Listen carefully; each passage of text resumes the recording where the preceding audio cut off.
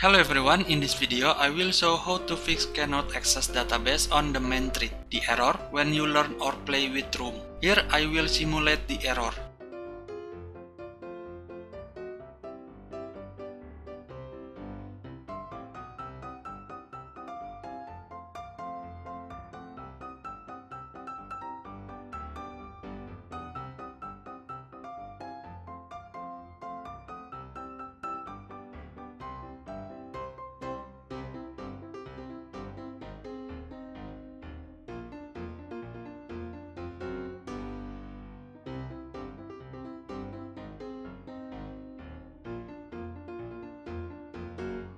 To fix the error, simply use coroutine with lifecycle scope if in activity or view model scope if in view model or any coroutine scope.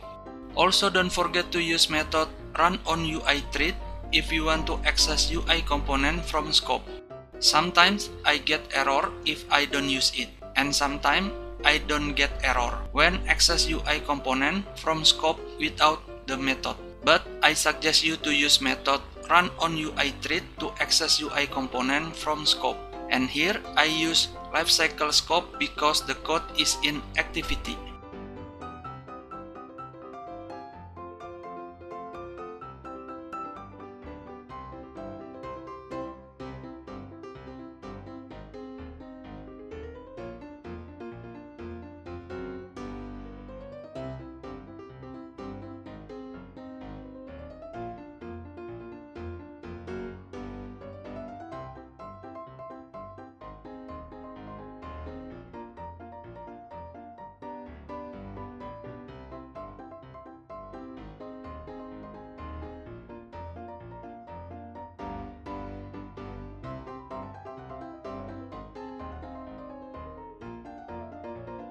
I hope this video can help you to fix the error.